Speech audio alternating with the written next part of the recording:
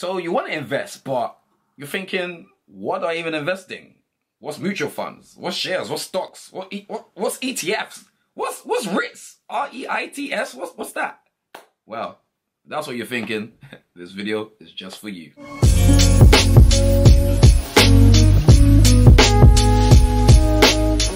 Hey guys, and welcome to Marriage and Money. Welcome back to the channel. Yeah, welcome yeah. back to another video. If you're new around here, would I like you to subscribe to our channel so you can be prepared and be alerted for our upcoming videos. And if you like this video whilst watching and you think it is actually been helpful for you, then give us a thumbs up and share this video. Don't keep the goodies to yourself. In today's video, we want to really dive into what financial instruments are available for purchase on the stock market. So, the first thing we're going to talk about is a share. What is a share? A share, which we kind of talked touched upon in our previous video, but we'll give you the definition here. in essence, a share is purchasing an ownership into a company. So, a company says, okay, I have this amount of shares for this amount of price, and you say, I've got this money, I believe in the future of this business, I'm gonna purchase a share. And it's that simple, you mm-hmm. become an investor in that company.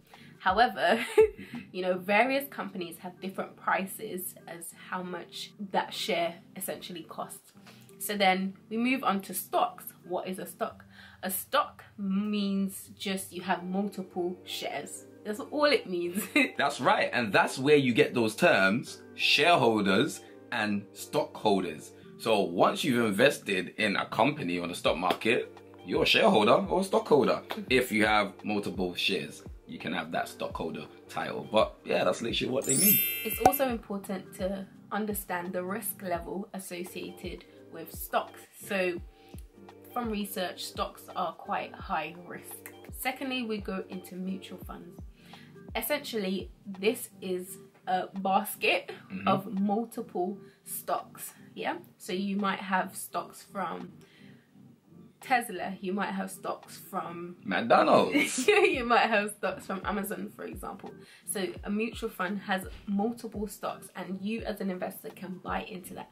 And this mutual fund is managed by a manager who actively says, "Okay, I'm going to put this particular stocks from this company. I'm going to put this particular stocks from this company," and that's that. Yeah, and also including the mutual fund, it is not just you as an investor, mm-hmm. but it's many other investors where their monies are pooled mm-hmm. all together, and that manager or investor manager puts those allocation of money into different stocks in those different companies. The risk level associated with mutual funds vary. You can have high, medium, and low. So that's for you to find out when you do your research. Under the umbrella of mutual funds, we then have ETFs and we have index funds. Mm. an index fund and an ETF both have this same element in which that they track the market yeah so they don't try to outperform what the market is doing they just tr- simply track a particular market in the UK market that we have is the FTSE 100 and we also have the FTSE 250 and then we have the FTSE All Share and then there's more. An ETF and an index fund can both track any of those markets that I've just mentioned. The difference with them both is that an index fund can only be purchased at the end of the stock market close. So you can only buy it at one price when the market is closed. And an ETF can be purchased on the stock market at multiple times. So it, in essence, it has an element of trading associated towards it. Now we go into the topic of bonds. Not James Bond, just clear them out for the meantime. Bonds. Bonds are investors lending money to a government or a company or range of companies that are requiring money so that they may need money for a particular project or particular objective that they're trying to achieve. Mm-hmm. With this bond, this is the company or a government saying, hey, they come to you, hey man, I need some money. I got this project to do. So if you want to give me that money, like 1,000 pounds, guess what? I'll pay it back to you with interest on top. Mm-hmm. There you go. So you may be thinking, okay, how long are they going to pay me back? Because um, time's money. Fair point. With a bond, there's three different terms. So you got a short-term bond, which is about one to four years. You got a medium term bond, which is from four to 10 years. And then you got long term bonds, which is 10 or more years. So you do have a choice of which kind of bond you want to go for, you know, whether short term, medium term, long term. Again, guys, depending on your financial objectives or your financial goals. So do check them out. And with bonds, the risk is very low. Why? Because you have the guarantee that you will get paid back. Mm-hmm. The money that you lent and interest on top of that.